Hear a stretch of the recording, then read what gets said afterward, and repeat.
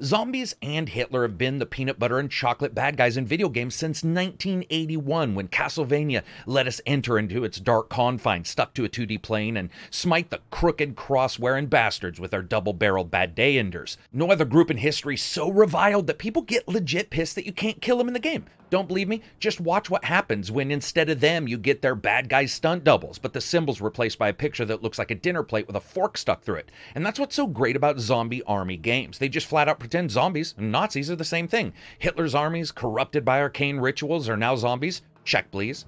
In the third person shooter Zombie War 4, it's up to you to continue to stop that zombie menace. Apparently, three entire prequels where the heroes could not abolish it by sprinting through locations, easy clapping the undead, and ruthlessly stealing everything you can that's not nailed down.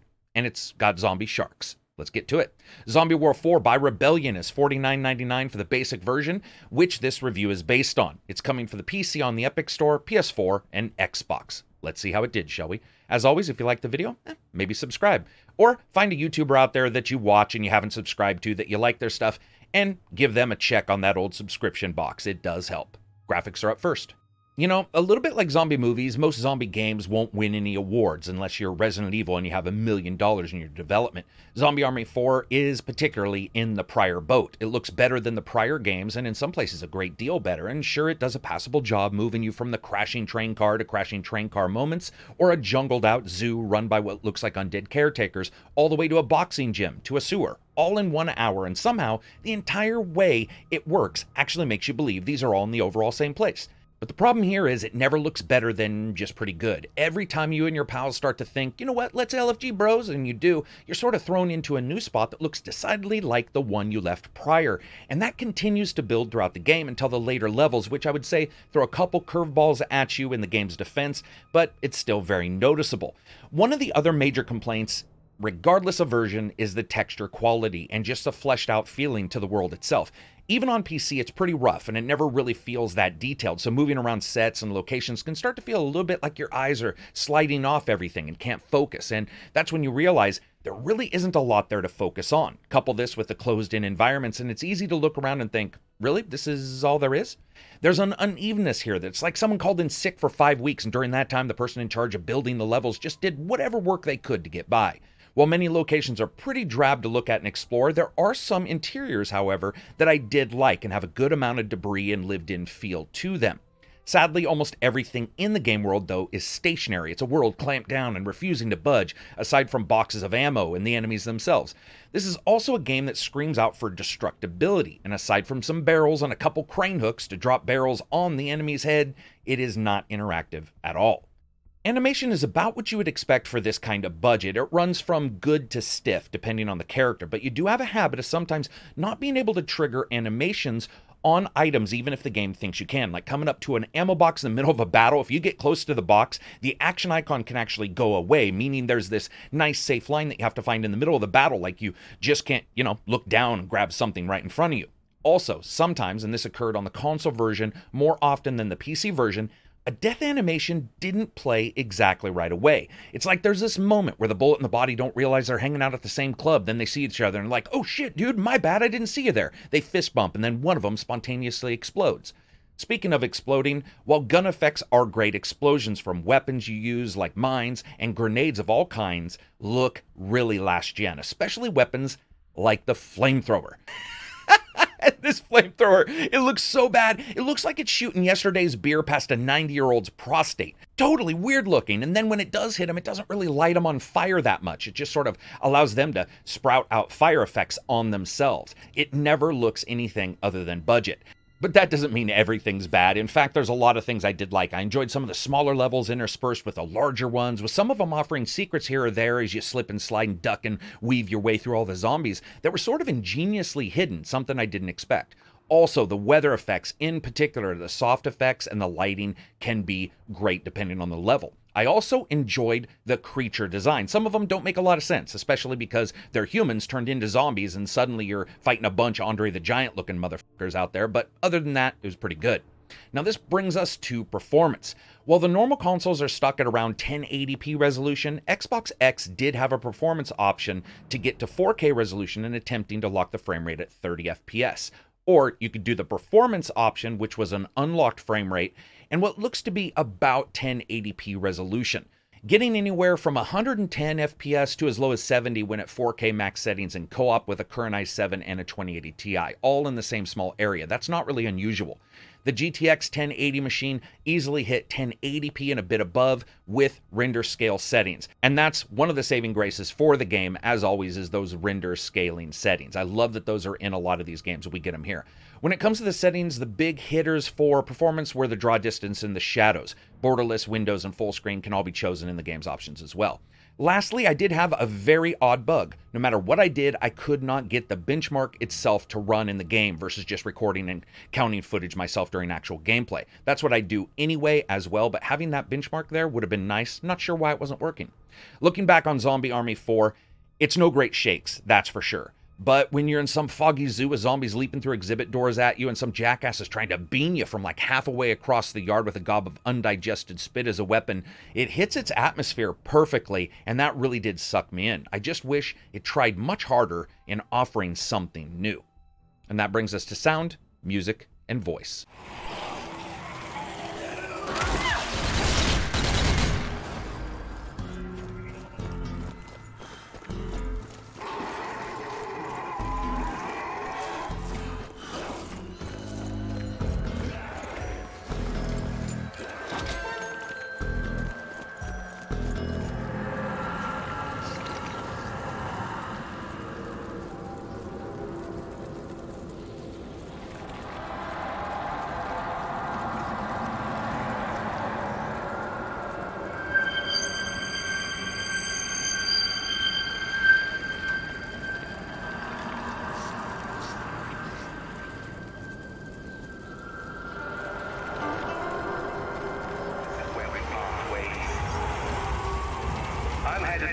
Docks.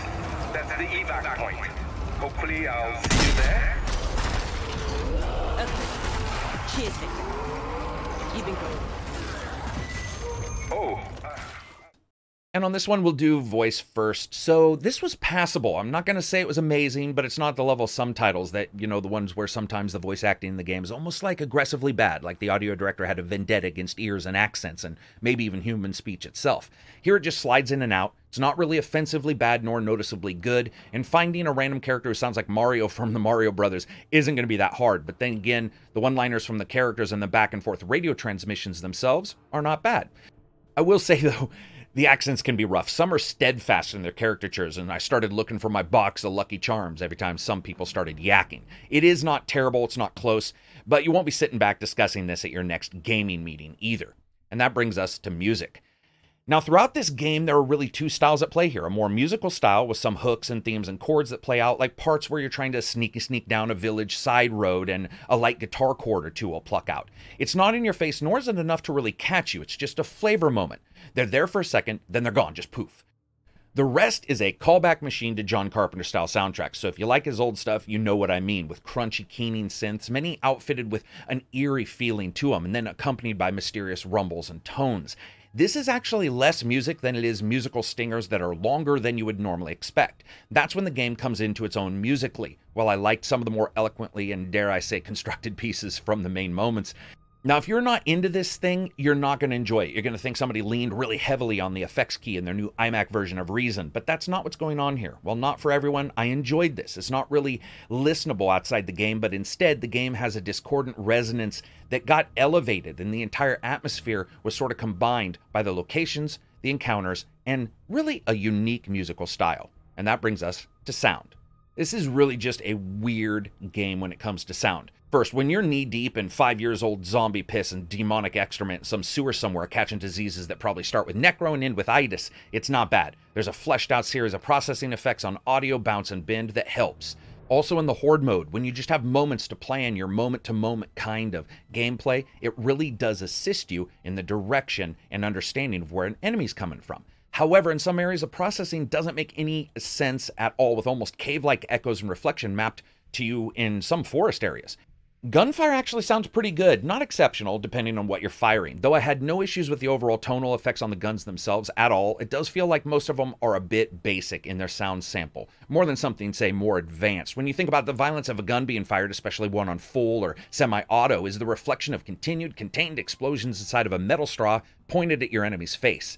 But here, there aren't that many side samples that give you a feeling and richness to each of the guns being fired, sort of a general lean mixture. Lastly, I will say that there's some variation between the weapons, but I would have liked more. Especially when it comes to the handguns, I'd like them to reflect the caliber just a bit more. You go from a gun basically just shooting metal spitwads out of a slingshot at people to a hand cannon that should really reverberate the room every time it goes off. Regardless of all that, though, it's not really held down by any of this. It was just a tiny bit noticeable. So I would say pretty good when it comes to that. And that brings us to gameplay and a bit about the story. It sounds like one of those made up trailers for a movie. The Resistance thought they killed Zombie Hitler, or at least killed him for good. How many Horcruxes does this bastard have? If somebody or something has a possibility of rising from their grave like a goose step and altered beast clone, it's pretty much zombie Hitler anyway. Here, though, he's going to need a little help, and you and your team of one, two, three, or four players must lead the resistance in a series of attacks or defenses aimed at cutting out the heart of the evil plan to possibly bring back the man so evil he made an entire type of mustache unacceptable for all of mankind. And to do that, you have a couple different types of modes. You have campaign, as well as horde and event of the week. Starting with campaign, you jump into the game choosing friends to join via the in-game app. The host, or if you're playing alone, can choose various options in the game, including difficulty as well as the number of zombies that occur in the game. I found that an odd but really interesting option, and perhaps the first three did it and I don't remember. But I like the idea of perhaps having a bit more of a mix and match style of options when it comes to difficulty. Now, once you choose your characters, you're pretty much in it to win it. You always have a default main, secondary, handgun, and up close style weapon as well. All of the main ones are upgradable across three paths damage, accuracy, explosive rounds, recoil, and other skills. They're split between those three. As you go up in level and collect skill up markers across the game world, they can be elevated. Raise a gun up in all the skills, which is going to take a while, and you get a master gun of its class. Up close attacks do not upgrade, they actually change from a punch to an electric fist and so on, and each one does a distinctly different thing, which can add some flavor depending on how you want to play and who you're playing with. Zombie Army 4 plays across nine missions to tell the story of the Resistance, at first just taking out the remaining zombie bad guys, but then slowly unfurling the more dastardly plot that spans the 8 plus hour campaign mode. You'll face new and old enemies, and yes, zombie sharks, and somehow zombie tanks, and maybe some zombie planes. While you're running through them, you're also blasting through the desiccated brains of the batshit insane followers of a devil Hitler. And while doing so, you consistently rack up combo points. You can pull off special moves because, as we all know, killing is the easiest way to power up in games. And here you do just that. As you explore the maps, you run across old but not abandoned graveyards, a bit of the seedy spiritual underworld itself, and realize zombies should never ever ride on trains, or planes, or more trains, or tanks. The variation here is actually what helped Zombie Army 4, not exactly knowing what I was going to get from level to level. And it's best to forget that these are dudes who still walk around without their heads but are somehow driving a friggin' tank. It doesn't matter. You just put that sweet, sweet logic in your back pocket and whip out that smoke wagon and you get to work. And as I spoke about this before, there is some repetition here, but while the locations are not very large, there were some interesting ones, and the enemy encounters run the gamut from great to sort of forced to pretty goddamn repetitious. It is nice, though, to know that pretty much once every chapter, some new type of bad guy is going to be introduced. Now, games like this do hinge on their enemy makeup, bad guys, and teams, especially when you're trying to mosh pit across a zombie concert crowd to power up some kind of arcane spiritual reactor so you can then power a rocket to shoot the enemy. Here, though, it's just okay. I never really felt that the enemy dynamics worked incredibly well together, like we see with some other games where you have the range kind of character and the up close kind of character. You always felt like there was this tit for tat of danger versus defense. It doesn't happen as much here. One of the best parts of this game, though, is the sheer number of enemies that can come up to you and the tenacity they can have finding you and trucking you down, even if you fleeted out of the area a while ago. However, and I almost don't want to say this, but the game does have a sad issue that's connected to this.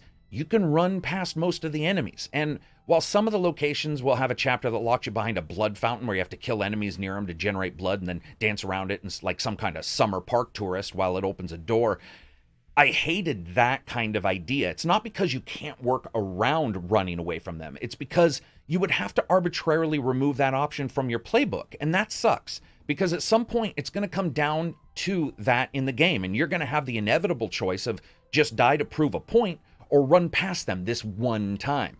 Now, this could have been rectified a number of ways, the easiest being that almost the consistent alliance fighters that you meet in some of the safe houses could have just refused to open the door if the zombies were nearby or something like that.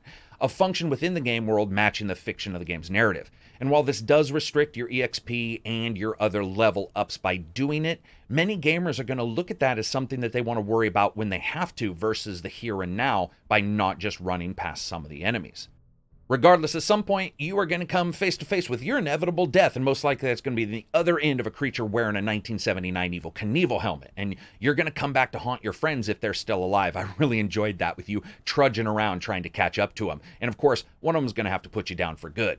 If you have med packs, you can revive a player, and later skills allow for self reviving as well as some various different options that you have in there. Control is about what you would expect from in these games, regardless if you're using the controller or the mouse and keyboard. You're not sitting there pulling off triple Lutz or anything, but it works in a pinch. I would have loved a more tightly controlled up close attack. The later power ups for the attack really are almost required, as the first machete attack just sort of swings out in front of you uncontrollably. The things like the axe, the Godhammer weapon, and the electrified punch are a bit more useful. While guns kick about as hard as you would expect, especially in a game that allows you to add skills to adjust things like that, it's not exceptional. Mouse and keyboard work fine. You can rebind them if you need on the PC. Interestingly enough, the Xbox version of the game has a keyboard and mouse option in it, and I was not able to test it to see if it fully supported it. I would find it strange that it's in there and doesn't, but that's something you should be aware of. But there's more. If you like painting yourself up in human barbecue sauce and then leaping into an ever escalating and growing series of waves of enemies and seeing how long you can last, Horde mode is for you. Horde mode allows you to jump in and, of course, take down different waves of enemies as different supply drops continue to drop in front of you, also expanding the map ever bigger as each wave progresses. And then there's also the weekly events. These are basically challenges that adjust something in the campaign world, like giving you no secondary weapon and some other restrictions, and then having you play it. You do get more experience for those situations, and experience is important. Some items don't unlock until super high levels, which means a good deal of the game is indeed going to be set up for those weekly events and the horde mode, as doing the campaign over and over and over again will net you some experience, but not as much as doing those other things. You can get charms to wear, adjustments to your items that affect your ability, as well as other upgrades for guns. And I gotta say, with the guns, I loved the upgrades. There's not a ton of them, but each one actually made a real noticeable difference. For example, if you go from normal firing to the upgraded explosive bullets, you will notice multiple enemies just fruitifying in front of you, and that can help a lot, especially in the horde mode or in those tighter sections of the gameplay itself. And speaking of gameplay, let's talk about fun factor and a bit about monetization for this title. Without a doubt, and despite numerous issues, the Zombie Army games have always been enjoyable for the most part. Zombie Army 4 continues that somewhat. It's no great shakes, and no one's going to go running up onto a stage handshaking Geoff Keighley anytime soon as they thank their family for making the levels. But they're enjoyable. Even solo, it can be fun, but with others, I would say it really does open up. Adjusting the difficulty and the zombie numbers allows for some flexibility. It's hard not to look at that horde mode as well and think of it as the equivalent of digital crack. Just one more hit, just one more attempt to see if I can work all these weaknesses the game throws at me to make it past one more wave. That's enjoyable. Just when I was starting to like the game, though, I had to jump into a friggin' boat and go for a boring ride watching zombies fall off buildings before realizing the boat's motor has a gas can the size of a nine year old's bladder, and you have to run to opposing corners of conveniently placed areas to get them back. That was really bothersome.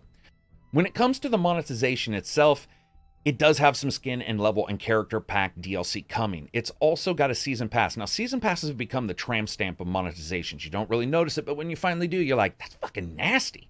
However, I do have to say here, the company is pretty clear on what they're offering, and that's some character packs, some skins, some weapons, and three levels at a later time. So, as you guys know, I rate games on a buy, wait for sale, rent, or never touch it again rating system, with rent being replaced by deep, deep sale on PC titles if I give it that score. And I'm going to give it a wait for a sale. And I got to say, it's really close to a wait for a deep, deep sale, but that's going to be up to you. For me, I think it's fair to give this a wait for a sale because there is a lot here that people may enjoy if this is their first time into these type of games and they know because of this review and others what to expect. But it is an average game. It is a middling game. It is a game that doesn't really go out there and try much new. However, if you're a fan of these kind of titles, well, you get more of it and you get some cool characters and you get just overall a fun romp.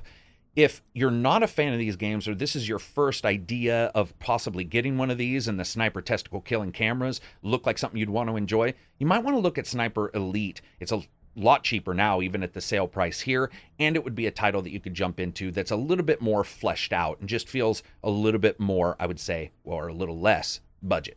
So anyway, that's it for me. I hope you guys liked the video. If you did, give it a thumbs up. If you didn't, give it a thumbs down. Check out Reddit and Twitter and Facebook.